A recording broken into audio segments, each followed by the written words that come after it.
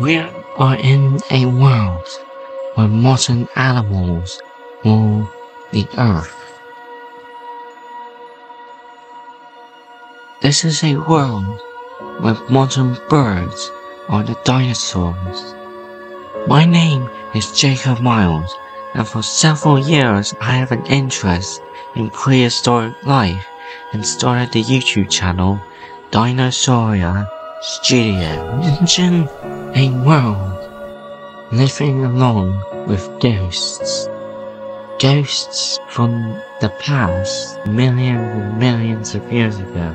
But the most famous ghosts now walking beside us are the dinosaur. Dinosaurs are popular in many museums and or in popular movies like in Jurassic World or the documentary series Prehistoric Planet. We see dinosaurs in different ways of modern science, whether for modern art of how they lived, or the size of these spectacular animals of the planet.